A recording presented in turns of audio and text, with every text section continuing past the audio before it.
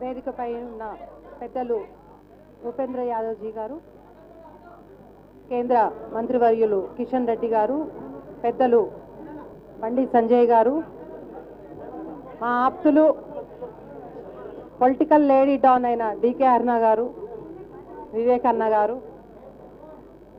రామచంద్రరావు గారు వేదికపై ఉన్న పెద్దలందరికీ మీడియా మిత్రులకు అందరికీ కూడా నమస్కరిస్తూ ఈరోజు భారతీయ జనతా పార్టీలో జాయిన్ కావడం అనేది మా పొలిటికల్ టర్నింగ్ పాయింట్ లైఫ్లో.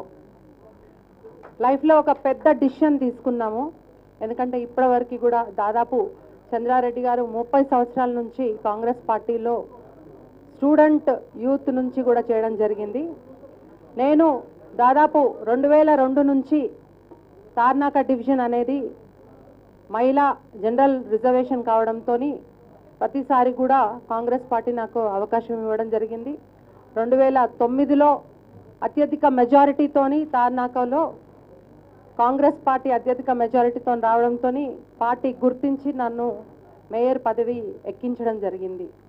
తర్వాత రెండు సార్లు నాకు మోసం చేయడం జరిగింది. వాగ్దానం చేసి మీకే అని చెప్పి ఇవ్వకపోవడము చాలా పనులు చేసుకుంటూ కూడా రావడం జరిగింది. ఆ రెండు సార్లు కూడా ఏ క్యాండిడేట్ని అయితే నిలబెట్టిరో ఆ క్యాండిడేట్కి సపోర్ట్ చేసుకుంటూ వారికి అన్ని విధాలుగా ప్రోత్సహించుకుంటూ రావడం జరిగింది.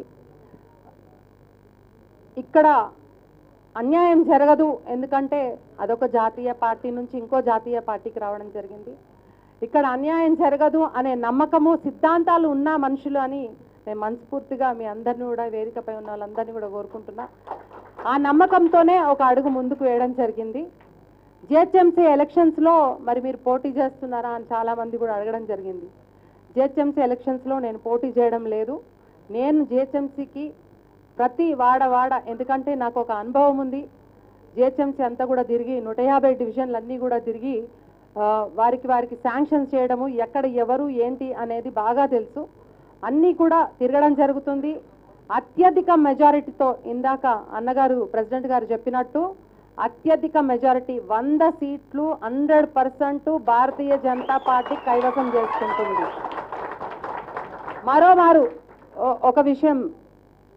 హైదరాబాద్ని ఏ విధంగా భాగ్యనగరం అనే పేరు తీసుకురావాలనే తాపన తాపత్రయం మన బీజేపీ పార్టీకి ఉందో తప్పకుండా మనం ఆ పేరు సాధ్యం చేసుకుంటాం. అదొకటే కాదు రెండు వేల ట్వంటీ ట్వంటీ త్రీకి మనము గోల్కొండ పైన బీజేపీ పార్టీ జెండా ఎగురవేస్తున్నాం. ఏ విధంగా అయితే మీరైతే అందరూ కూడా చూసిండ్రు దుబ్బాక ఎలక్షన్లో ఇంకా రూలింగ్ పార్టీ ఉంది బై ఎలక్షన్లో ఎట్టి పరిస్థితుల్లో ఎన్ని బై ఎలక్షన్స్ చూసినా కారుదే విజయం అనుకుంటూ చూసుకుంటూ రావడం జరిగింది. అన్నగారు ఎంత తాప అంటే ఎంత పోటీ చేసిండ్రు పోలీస్ వర్గానికి? అదేవిధంగా కిషన్ అన్న గారు డికే అన్న గారు వివేక్ అన్న గారు రామచంద్రరావు గారు పెద్దలందరూ కూడా అక్కడే ఉండి తిష్ట వేసి క్యాండిడేట్ని ఎట్లయినా మనము సాధించుకొని బీజేపీ పార్టీని గెలిపించుకునే విధంగా వాళ్ళు ఏ విధంగా అయితే వాళ్ళు ముందడుగేసి అది ఫస్ట్ విజయం మనది. అదే విజయంతో ఈ జిహెచ్ఎంసీ ఎలక్షన్స్లో కూడా తప్పకుండా మనమందరం కూడా అహర్నిశలు మన పాత్ర పోషిస్తూ ప్రతి ఒక్కరు కూడా ఒక సైనికుడిగా పనిచేసి జిహెచ్ఎంసీ ఎలక్షన్లో తప్పకుండా మనం గెలవబోతున్నాం. మేయర్ సీటు మనం కైవసం చేసుకోబోతున్నాం. ఆ నమ్మకము ఎన్- ఆ నమ్మకం నాకు ఎందుకు వచ్చింది అని అంటే దుబాక ఎలక్షన్స్ చూసిన తర్వాత ఎక్కడ కూడా లీడర్షిప్లో డిఫరెన్స్ ఎక్కడ కూడా కనబడలేదు. ప్రతి లీడర్ కూడా పార్టీ విజయం కోసం పోరాటం చేసిన వాళ్ళు కాబట్టి ఆ నమ్మ ఆ నమ్మకం నాకుంది. అదొకటే కాదు నేను ఈరోజు బీజేపీలో పార్టీలో అంటే మీరు అను అనుకోవచ్చు మరి మేయర్ మేయర్ పదవి ప- చేసిండ్రు తర్వాత మీరు నిరుత్సాహంగా ఇందులోకి వచ్చిందంటే అవును నిరుత్సాహపడ్డ నేను. రెండు సార్లు నాకు ఇవ్వాల్సిన జీటు ఇంకొవరకు పారాషూట్లో వచ్చిన వాళ్ళకి ఇవ్వడం జరిగింది. ఎంతో తాపత్రయం పడ్డా. ఇక్కడ ఉన్న డికే అన్న గారికి ఎంతో బాగా సన్నిహితంగా తెలుసు వారికి ఇంచు అంటే ఎవ్రీ మూమెంట్ కూడా వారికి ఎక్స్ప్లెయిన్ చేయడం జరిగింది మేము ఆ- ఆ రోజుల్లో. అదే కాకుండా ఎంత బాధపడ్డామంటే అంటే పార్టీకి సేవ చేసినాము అదేవిధంగా ప్రజలకు అహర్నిశలు మేము ఇప్పుడు కూడా పార్టీలో ఉన్నా లేకున్నా ఒక సంవత్సరం పాటు నేను ఎక్కడ కూడా పోలేదు. సంవత్సరం పాటు ఇంట్లో ఉన్న అయినా కూడా ప్రతి ఒక్క ఆపదలో ఉన్న వారికి మొన్న కరోనా ఎఫెక్ట్లో కూడా చాలా చంద్రారెడ్డి గారు గారు మొత్తం పనిచేయడం జరిగింది. ఎవరెవరికి ఏ అవసరాలు ఉన్నాయో మన ఫుడ్ ఫుడ్ కానివ్వండి లేకపోతే వారికి ఫైనాన్షియల్గా కానీ అన్నీ హెల్ప్ చేయడం జరిగింది. కరోనాలో కూడా చాలా పనిచేయడం జరిగింది. అంటే పేదలకి ఆప్తులకి అపాయ అపాయంలో ఉన్న వారికి మేము పనిచేస్తాం అనేది అందరికీ కూడా మొత్తం కూడా తెలుసు. సో ఆ విధంగా మేము పనిచేసే వాళ్ళకి భారతీయ జనతా పార్టీలో ఒక గుర్తింపు ఉంటుంది అని నాకు బాగా తెలుసు.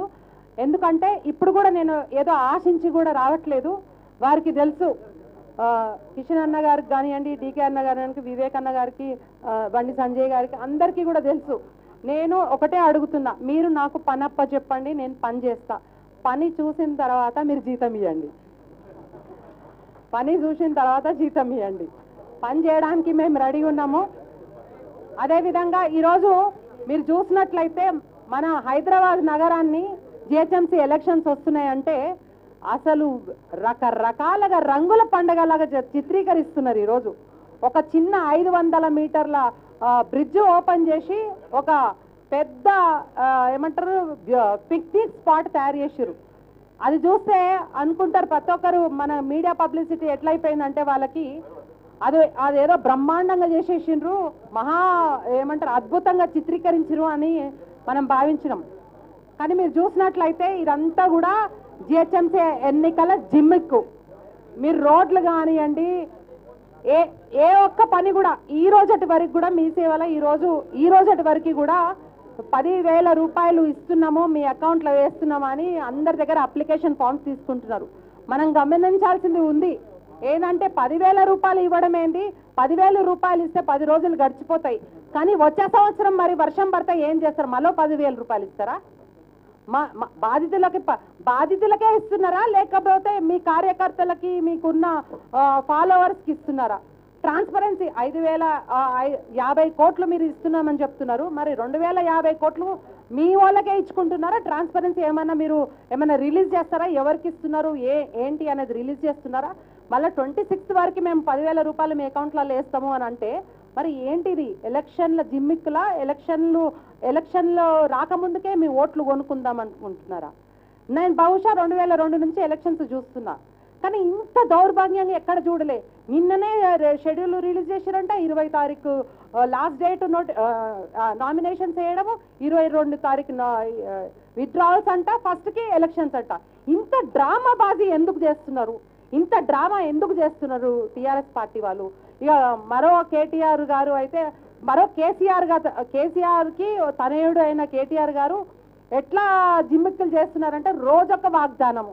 మేము ఇది చేసేస్తున్నాం మేము అది చేసేస్తున్నాము. ఏ పార్టీ చేయనంత అభివృద్ధి దేశంలో ఎవరు కూడా చేయనంత అభివృద్ధి. హండ్రెడ్ పర్సెంట్ ఏ దే ఈ ఇట్లాంటి పార్టీ దేశంలో ఎటువంటి పార్టీ ఇట్లాంటి పార్టీ దేశంలో ఎక్కడ కూడా కనబడదు మనకి. ఎందుకంటే ఇంత జిమ్మిక్కులు ఏంటంటే సినిమా సినిమాకి వెళ్ళే ముందు మనకు ట్రైలర్ రిలీజ్ చేస్తారు చూడండి. అట్టర్ ఫ్లాప్ సినిమా అనుకో వచ్చే ఫోర్త్ రోజు తెలిసిపోతుంది ఎంత అట్టర్ ఫ్లాప్ అనేది.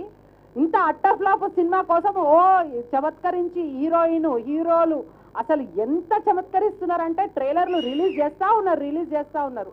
మీరందరూ కూడా గమనించాలి కేసీఆర్ పార్టీకి కారు పార్టీకి మనం బుద్ధి చెప్పడానికి మన సైన్యం అంతా కూడా సిద్ధంగా ఉంది ముందడుగు వేసి వారికి తప్పకుండా గుణపాఠం చెప్పాలి.